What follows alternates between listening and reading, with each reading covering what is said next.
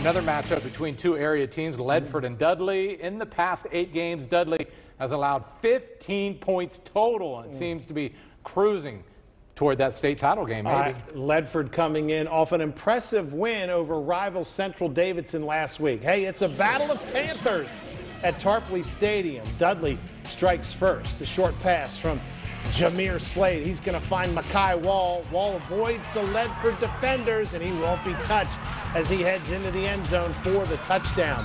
But hey, Ledford responds. Nathan Carr, he's going to hit a wide open Nick Morgan, who has a clear path into the end zone for the touchdown. Dudley now with the football and driving. R.J. Baker takes the handoff. He heads to the sideline. That's a big gainer before he gets dragged down and pulled out of bounds. Then later on that drive, Baker finishes it off with a touchdown run right up the middle. Then Dudley driving again, Baker again with the score. Dudley gets another big, big win. They move on with a 53 10 win over Ledford.